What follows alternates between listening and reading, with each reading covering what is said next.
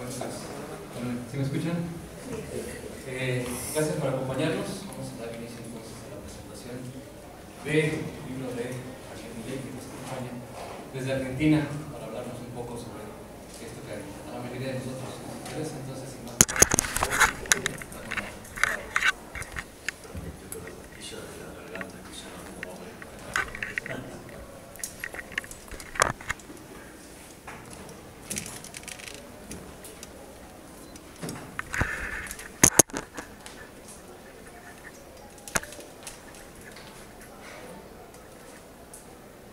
Bueno, en primer lugar deseo dar las gracias por invitarme para dar esta charla y deseo dar también las gracias a ustedes por venir a presenciar lo que es la exposición sobre mi nuevo libro.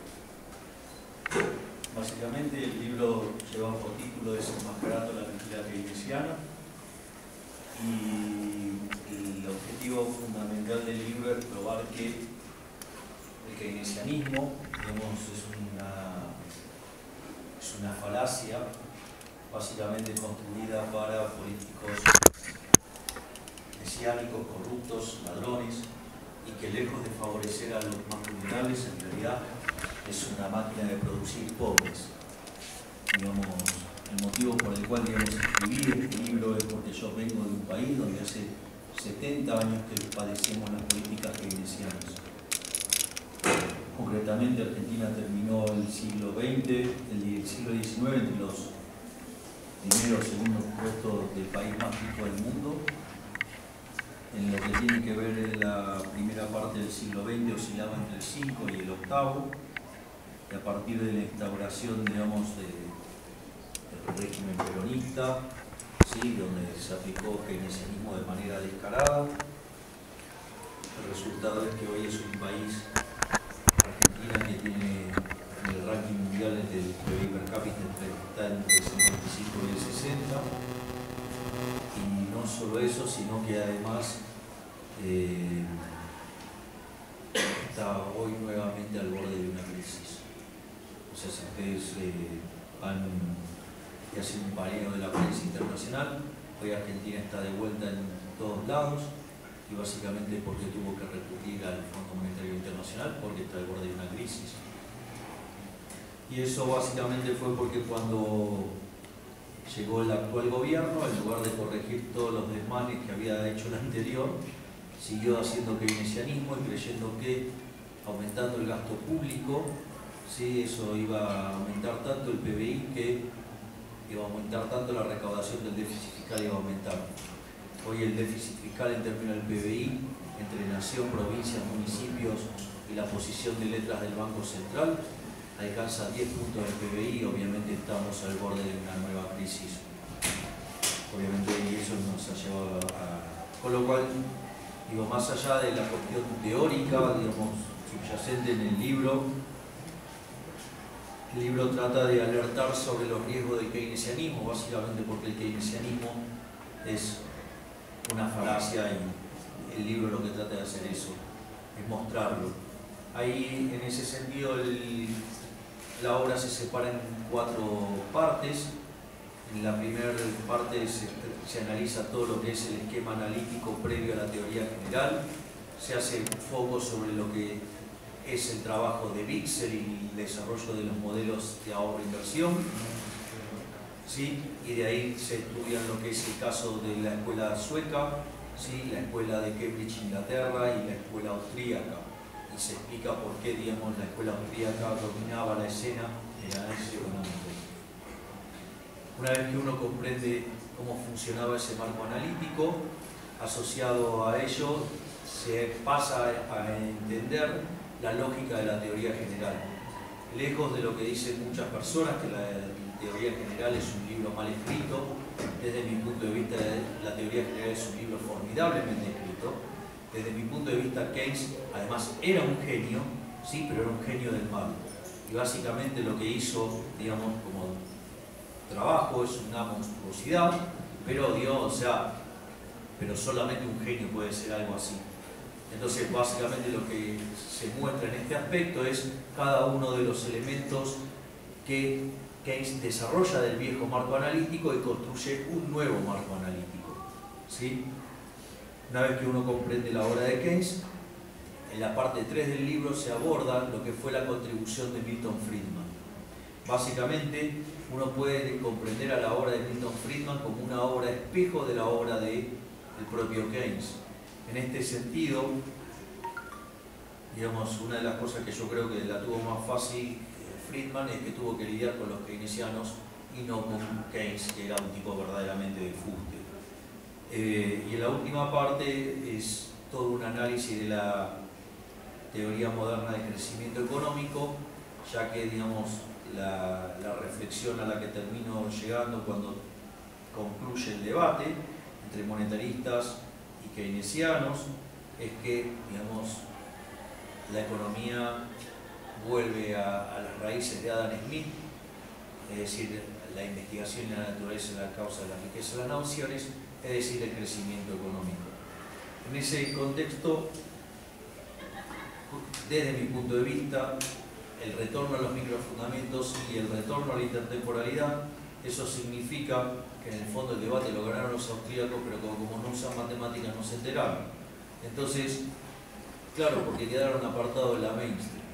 Entonces, yendo ahora concreto de la obra, para mí el punto clave para ir comprendiendo de qué va esto es la obra de Bixel.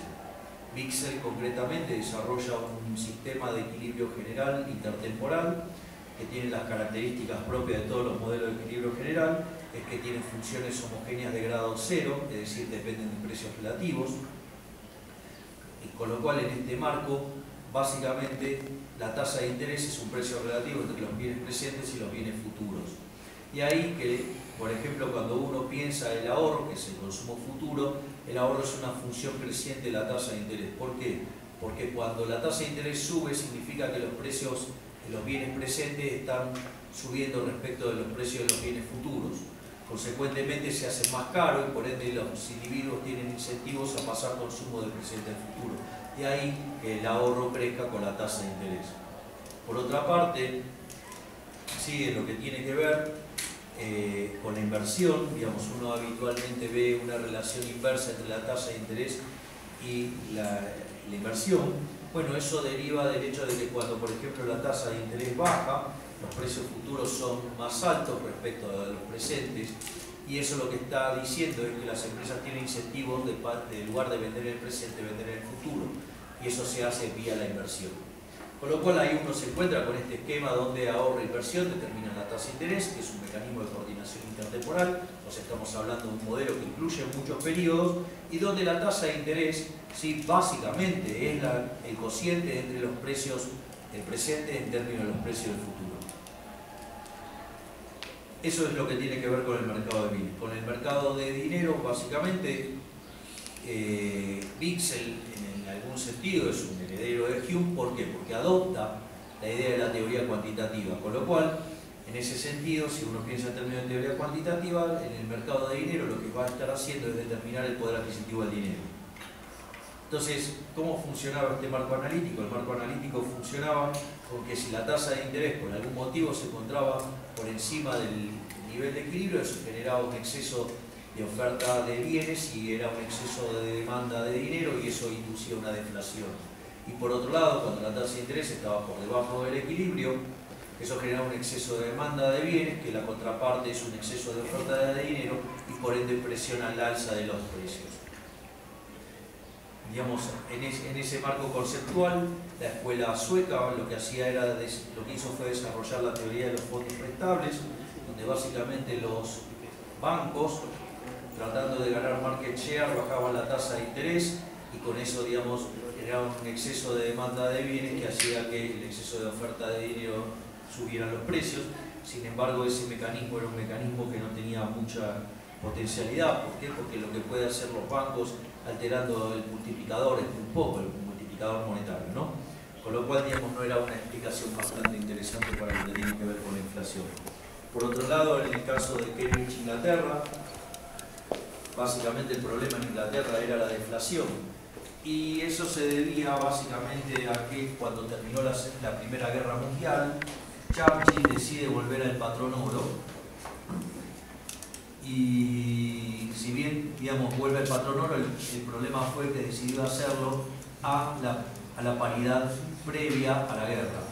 Y como en realidad durante la guerra habían emitido y habían tenido inflación, cuando fijó la, la paridad al nivel preguerra, dejó los precios de Inglaterra altísimos y esa situación generaba un desequilibrio externo en Inglaterra ¿sí? que llevaba a que perdiera oro y esa pérdida de oro hacía que se contrajera la cantidad de dinero y esa contracción en la cantidad de dinero era lo que generaba la deflación.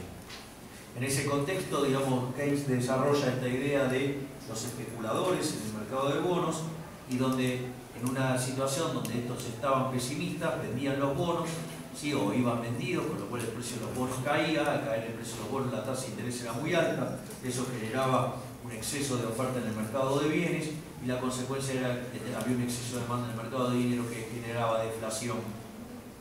Si bien el mecanismo digamos, es distinto al que acabo de describir eh, previamente, digamos, porque lo hice más que nada acorde a la teoría convencional con la cual se trabajaba en ese momento también en Inglaterra. Sin embargo, estos, eh, estas dos escuelas estaban fuertemente relegadas.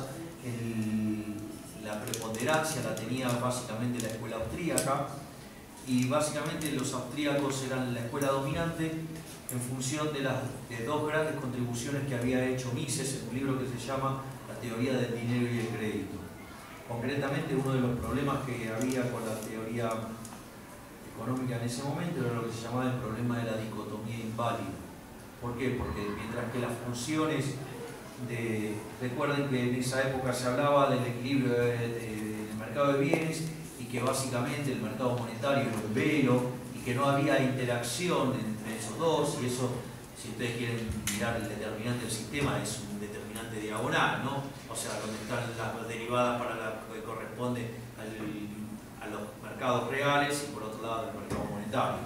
Y eso lo que hacía era una dicotomía que el dinero además fuera neutral. ¿sí? O sea, no tenía efectos reales. Sin embargo, eso digamos, partía de algo que era una falacia, porque las funciones de exceso de demanda del sistema bixeriano son homogéneas de grado 0, pero la teoría cuantitativa es homogénea de grado 1. ¿Qué significa esto?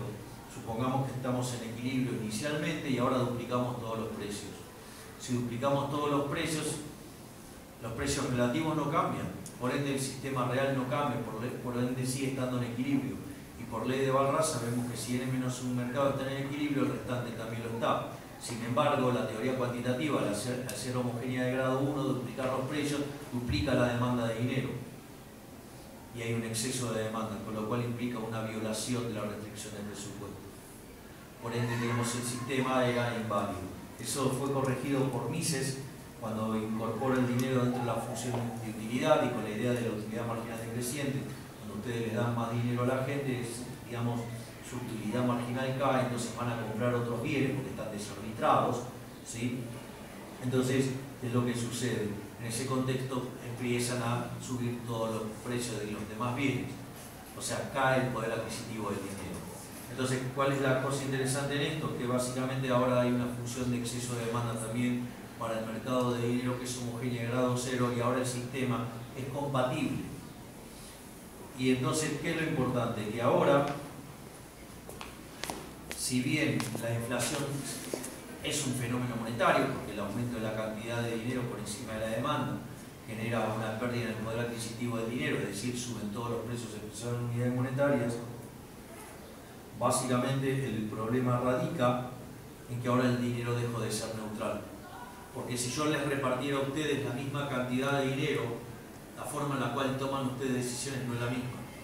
Por ende voy a estar afectando el patrón del consumo a lo largo del tiempo, es decir, voy a estar afectando el consumo presente, el consumo futuro, es decir, el ahorro, y con eso, digamos, la interacción con la inversión va a determinar otra tasa de interés.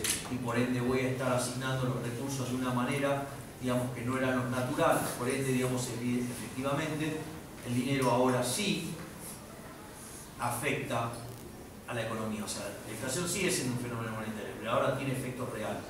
Es más, es peor todavía. ¿Por qué?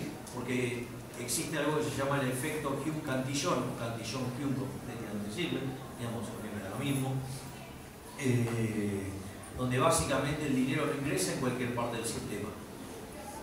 O sea, el dinero ingresa en una parte del sistema y de ahí se va trasladando. Entonces, ¿cuál es el problema? El problema es que hay agentes que, hacen transacciones y reciben precios presentes y pagan precios pasados y hay otros que pagan precios presentes y reciben precios pasados, con lo cual lo que están haciendo es generar una redistribución del ingreso, con lo cual con eso también además generan un problema adicional porque están afectando al ahorro, porque afectan a la inversión y por ende digamos la estructura productiva está distorsionada y cuando eso digo, hay que corregirlo, lo que va a pasar es que van a destruir capital y van a dejar gente en la calle. Con lo cual digamos, es un tema bastante delicado.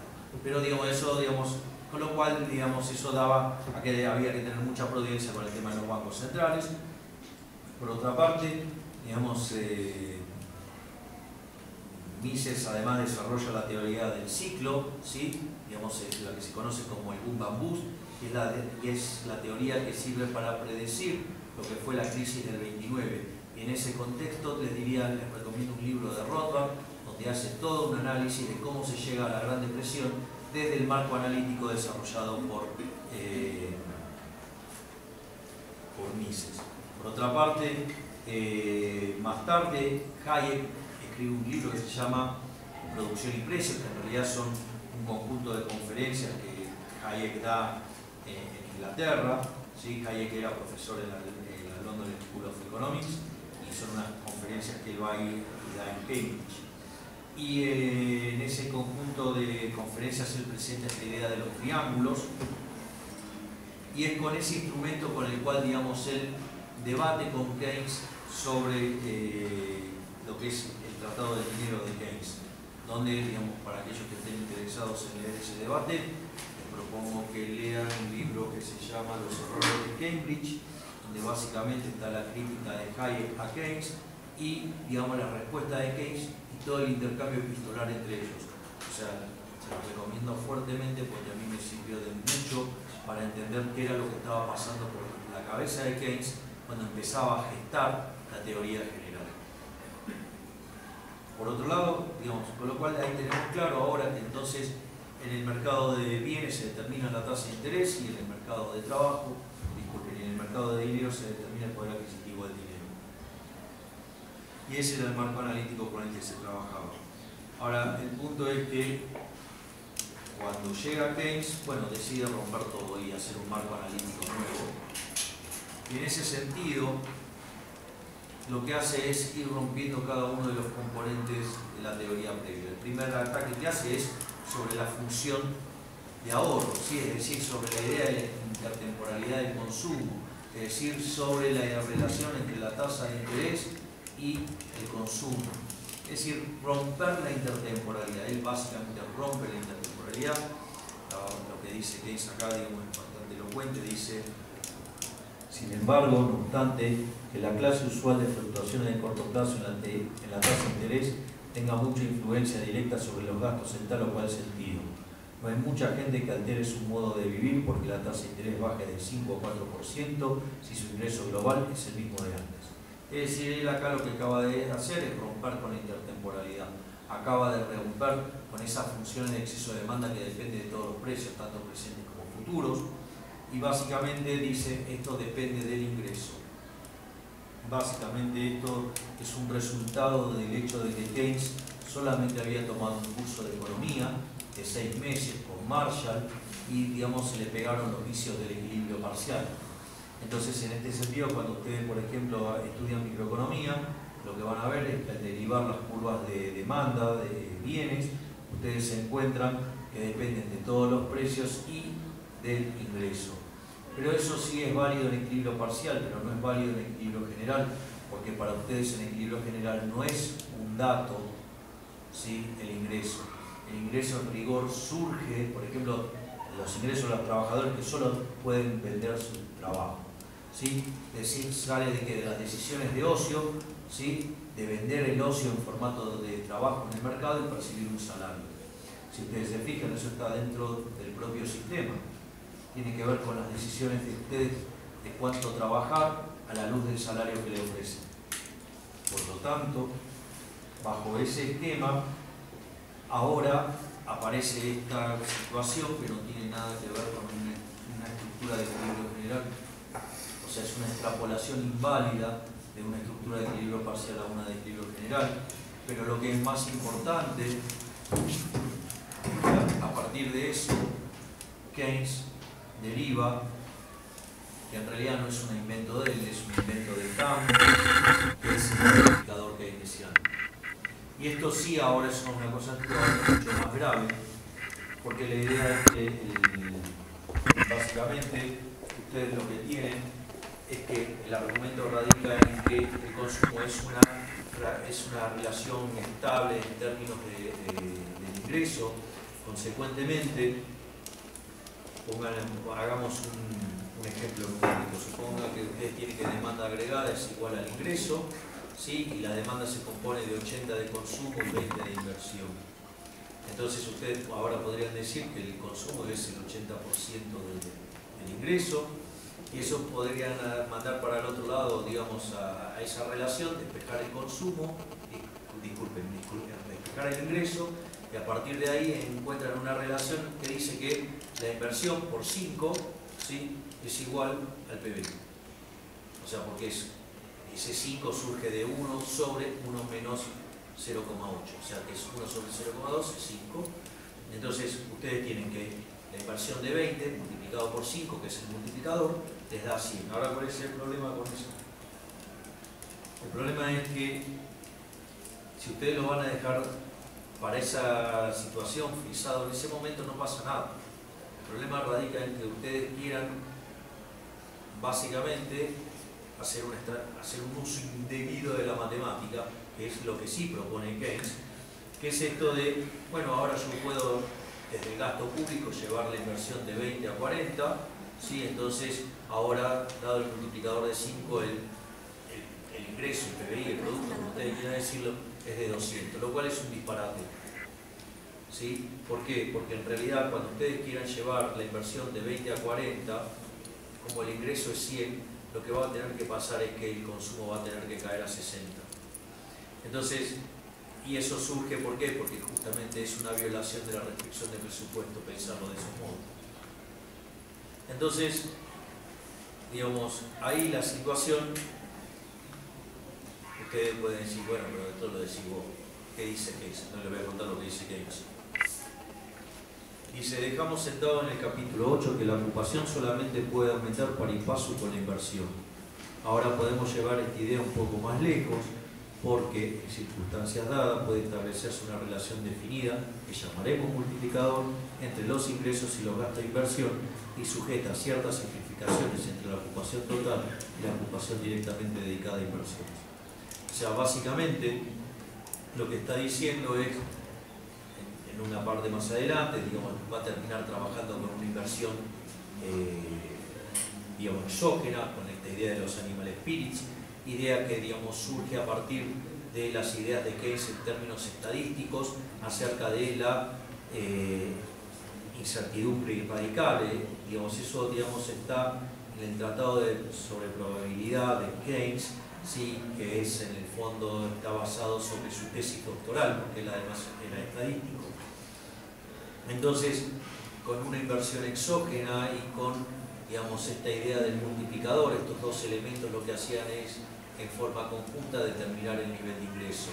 A su vez, si ustedes siguen este argumento que acabo de leer sobre Keynes, eso es lo que va a derivar en la demanda de trabajo, o sea, todo lo que teníamos en el esquema austríaco, por ejemplo, con esa heterogeneidad en el capital y que daba lugar a distintas demandas y ofertas de trabajo y que, digamos, y había distintos sectores y había distintas remuneraciones según los sectores, ahora desaparece todo. Ahora hay un único bien ¿sí? hay un único tipo de trabajo. Y de esa manera la interacción entre la demanda de trabajo que surge ¿sí? de lo que pasa en el mercado de bienes al determinar el ingreso, ¿sí? se cruza con la oferta de trabajo y eso permite determinar el salario nominal. Es decir, que ahora tenemos una situación donde en el mercado de bienes se determina el ingreso, en el mercado de trabajo se determina el salario nominal. Esto es muy distinto a lo que teníamos en el formato a la VIX. ¿Por qué? Porque el sistema real lo que hacía era determinar tanto todo lo que tenía que ver con las cantidades y sus precios, ¿no? o sea, en el sentido de que tanto los bienes, la demanda de bienes presentes y futuro y la oferta de factores presentes y futuros, todo quedaba determinado en el sistema real. Pero claro, al darse esa transformación que hace Keynes, el trabajo lo tiene que determinar en otro lugar. Por otra parte, ¿sí? una de las cosas que surge de este esquema también es que el despilfarro es bueno.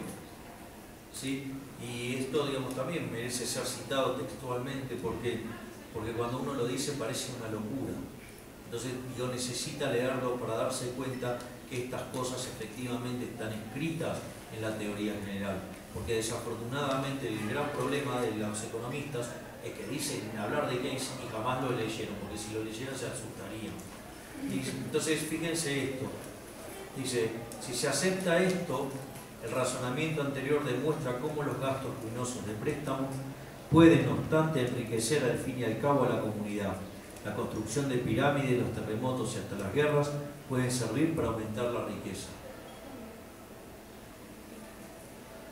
Ahora, Dios, si yo sigo entonces esta lógica, las guerras que generan riqueza, entonces hagamos la tercera guerra mundial, entonces vamos a estar nadando en la abundancia, entonces, ahora ustedes digo, se deben creer que entonces es un argumento que hago yo para hacerme gracioso. Digo, a pesar de que acabo de leerlo textual de Keynes. Ahora, el punto es el siguiente. Sucede que hay un economista que se llama Paul Krugman. Sí, entonces él dice en una frase dice que él no cree en Dios. Pero que en caso de haber una recesión, él le rezaría a Dios para que haya una invasión extraterrestre. Es decir, todo parece, digamos, como un chiste, pero de chiste no tiene nada porque justamente este marco analítico genera este resultado. Miren que, digamos, hasta casi agresivo les tendría que resultar a ustedes que viven en un país que tiene tantos terremotos. Porque entonces, según Keynes, cuando hay terremotos, ustedes deberían estar felices de la vida porque según eso les va a subir el PBI hasta las nubes. Entonces digo,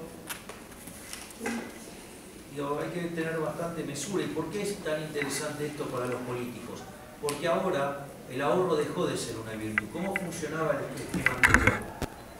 El ahorro, sí, generaba digamos, la inversión, la inversión incrementaba el stock de capital per cápita, el stock de capital per cápita aumentaba el producto per cápita y consecuentemente con ello aumentaba los salarios reales, es decir, aumentaba el nivel de vida de una nación. Ahora no, ahora la virtud es el despilfarro. Ahora ustedes lo que tienen que hacer es salir a gastar. Hay que salir a gastar porque eso va a hacer que suba tanto el PBI que eso va a hacer que aumente la demanda de trabajo y los salarios van a estar por las nubes. A ver, estas ideas, digamos, en mi país, digamos, en el país donde yo vivo, se, acaban de aplicar nuevamente. El ministro Pratcay, cuando asumió, le dijo, después lo echaron, pero le dijo a Marcos Peña, jefe de gabinete, que en realidad no había que ajustar. O sea, el, kirchnerismo había dejado un desequilibrio fiscal de órgano. Es decir, él lo que dijo, no, mirá, nosotros cuando lleguemos arreglamos el tema de los mandados, cuando nos vean a nosotros van a llover las inversiones. O sea, animal spirit puro. O sea, ¿por qué? Porque en realidad él es más lindo, digamos, tiene los ojos claros, habla mejor inglés y se viste mejor que Kichilov. ¿De dónde salió esa estupidez? Digo, ¿qué pasó? No hay lluvia de inversión. La inversión directa extranjera en Argentina es 0,4 del PBI, en toda la región el promedio es 3,5. Cuando Argentina históricamente compitió en el primer lugar, ya sea con México o con Brasil.